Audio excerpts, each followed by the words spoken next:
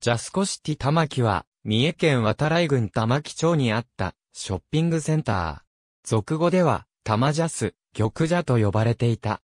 桑名市に本社を組の役塚番店によって、鉄筋コンクリート2階建て、敷地面積約5万6千平方メートル、店舗面積約2万3千平方メートルで、各店舗をジャスコとする、美濃屋ショッピングセンターの建設が計画され、1979年5月に、名古屋通産局に届け出された。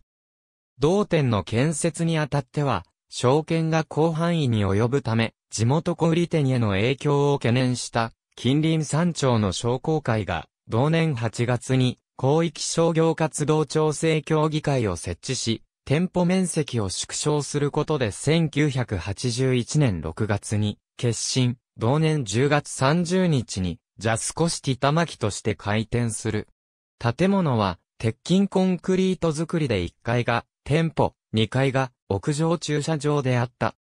開店後は大型店として玉木町以外からも集客があり、1996年に売り上げがピークとなったが、周辺に相次いで商業施設が進出することにより、売上がピーク時の半分まで減少、入居契約の20年を過ぎたこともあり、2003年10月に閉店した。